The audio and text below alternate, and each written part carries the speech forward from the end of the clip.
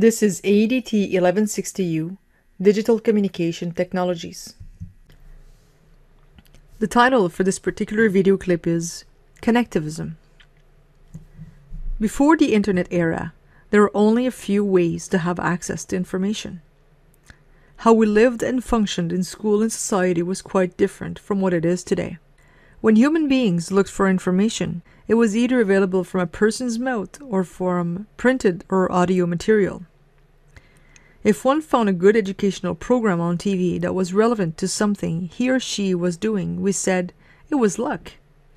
At that time, it was not well perceived to go back to school as an adult, and people rarely changed careers. Only a minority of the population would willingly change career, and usually, if someone went back to school as an adult, it was because they had lost their jobs.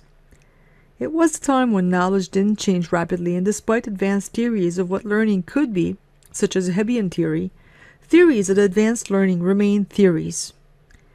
Hebbian theories, for example, was introduced in 1949 by Donald Hebb, who explained that cells that fire together have a tendency to build strong connections and evolve together. In the mid 1990s, the internet became available to the population, and there were opportunities to engage on a global scale in many formal and informal learning situations, which helped people develop skills and competencies to make them more employable. Many people were spending more and more time working over the internet, making contacts, or even better, connecting themselves to new elements of information and new people. Meanwhile, the logic of knowledge was changing, and most people didn't see it coming. This was the premise of connectivism. The analysis questions for this particular video clip are as follows. What is connectivism or connective knowledge? What are the underlying principles? Explain the role of emergence and interpretation in connectivism. In fact, what internet technologies have done is that they have provided human beings with a lot of information, so much information, that the issue now is who knows what to do with all this information?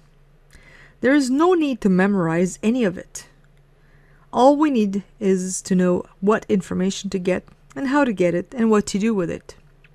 One must admit that basic knowledge is important, but that basic knowledge is not always the same.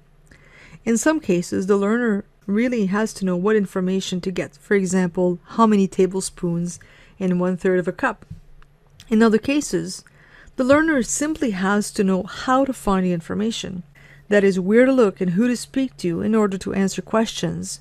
And chances are, the answer to the questions would be much more complex and include tasks to accomplish and problems to solve.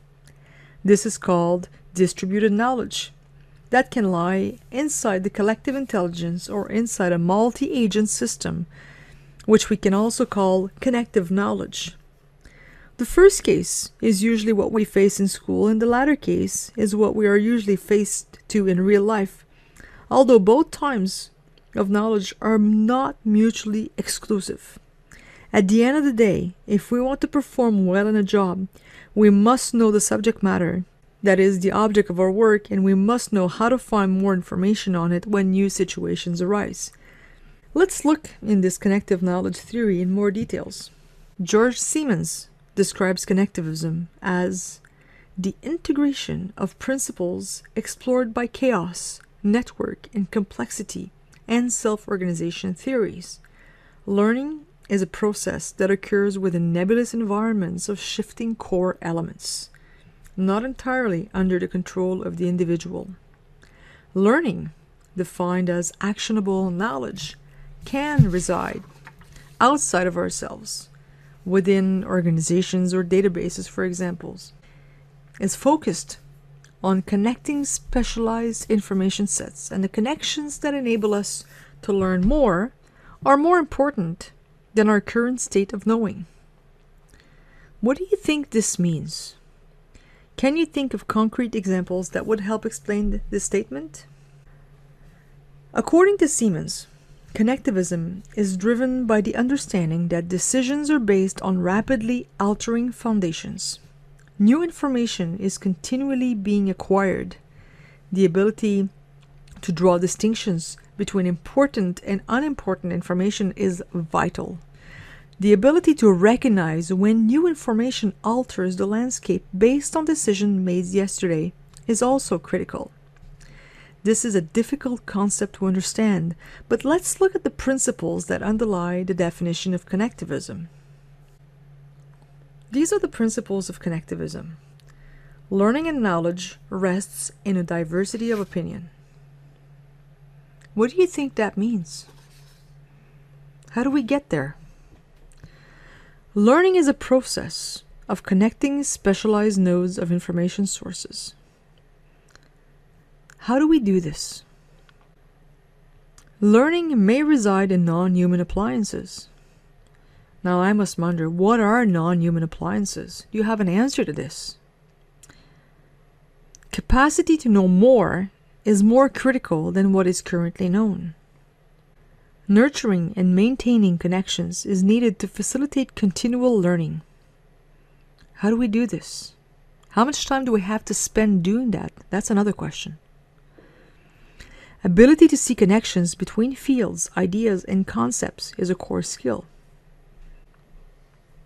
Currency, which is accurate, up to date information, is the intent of all connectivist learning activities.